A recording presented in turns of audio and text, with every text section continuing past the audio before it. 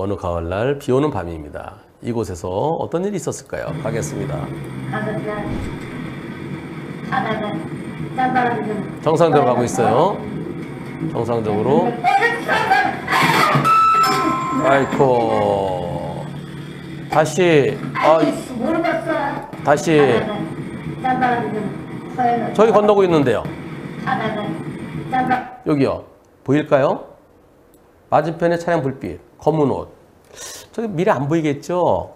그러다가 저 불빛 속으로 쏙 들어갔어요. 그리고 이때, 이때. 아, 나는 녹색, 상대는 빨간 불. 허허. 예. 큰일 날 뻔했습니다. 불박차 속도 빨랐으면은 붕 떴다 떨어지면 사망할 수 있어요. 제한 속도 50에 저는 40 내지 50으로 가고 있었습니다. 산타페 4명 타고 있었고요. 상대는 안화골절, 여기 눈두덩이뼈 골절, 무릎 타박상, 사주진단. 아이고 천만다행입니다. 종합보험이면 괜찮을 텐데요. 책임보험밖에 없어요. 그래서 보험 저 경찰에서 합의서가 받아오래요. 네, 책임보험밖에 안 되니까 합의 안 되면 처벌받는데요. 운전자 보험은 들어져 있습니다. 합의는 어떤 식으로 해야 될까요? 난감합니다. 어느 정도 합의금이 적절할까요? 아, 그냥 검찰로 보내달라고 그래서 그래서 변호사를 선임해서 처리하는 게 맞을까요? 조언을 부탁드리겠습니다. 술 드신 무단 횡단자와 일어난 사고인데 아 상대방 다친 거는 죄송하지만 아, 억울하기도 합니다. 근데 저 정도면 책임보험에서 치료비는 충분히 커버될 것 같은데요. 비 오는 날 밤에 검은 계통의 옷을 입고 중앙선 넘어서 들어오자마자 부딪힌 사고라서 반대편 차량 전종 때문에 진짜 안 보였습니다. 사주 진단이면 운전자 보험에서는 형사비금 지원되는 게 없을 거예요. 어, 운전자 보험에서 지원되는 것은 12대 중과실 중에서 어, 그 중에 이제 에, 빠지는 게 몇 개 있죠. 네, 음주, 뭐 뺑소니 이런 거 빠집니다. 네, 음주, 무면허 뺑소니 빠지고요.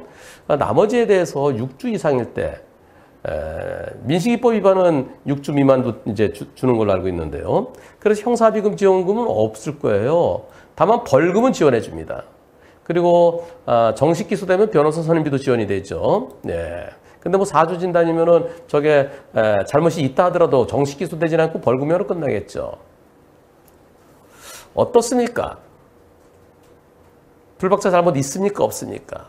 불박자 잘못이 없으면은 검찰에서 검찰로 송치하더라도 검사가 무혐의 하든가 법원에 가면 무죄 나오든가 둘 중에 하나겠죠.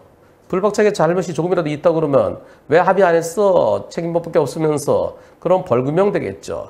여러분들의 의견은 어떻습니까? 투표 시작. 불박차에 잘못이 있을까요? 없을까요? 비 오는 날 밤에 꼼꼼한 옷을 입고 맞은편에 차량 불빛 때문에 안 보이는데 그런데 중앙선 살짝 넘으면서 꽝. 여러분들의 100%는 1번입니다. 불박차 잘못 없답니다. 저도 불박차 안 보여. 저 안 보여요. 안 보여. 안 보였을 거예요. 일부러 거기 있나 없나 보면 보이지만, 네. 그래서 저는 운전자의 잘못이 없다는 의견입니다. 그럼에도 경찰은 합의 안 되면 처벌하겠다고 할까는, 그 지금 그렇게 하고 있어요. 네, 합의하지 마세요. 책임보험에서 책임보험금으로 나간 거, 그것도 나중에 검찰에서 무혐의 또는 법원에서 무죄 받으면은 그러면 그것도 부당이득 반환 청구해야 될 그런 상황입니다. 그리고 설령 유죄되더라도 운전자 보험에서 벌금이 나오죠. 만약에 벌금 나오면은 어, 벌금은 지원이 되는데요. 정식 재판 청구하세요. 약식 기소되면은 약식 명령 받고 7일 이내에 정식 재판 청구하세요. 그래서 무죄 판결, 무죄 판결 시청자분들과 함께 기다리겠습니다.